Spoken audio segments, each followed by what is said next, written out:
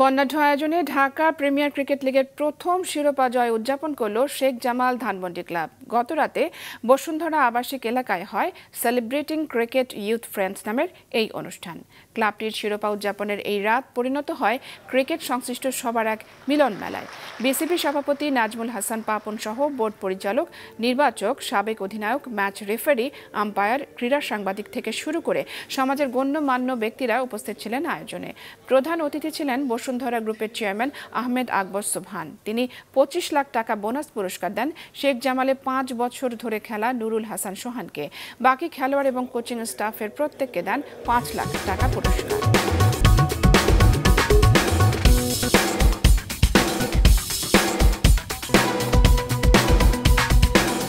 Thank you.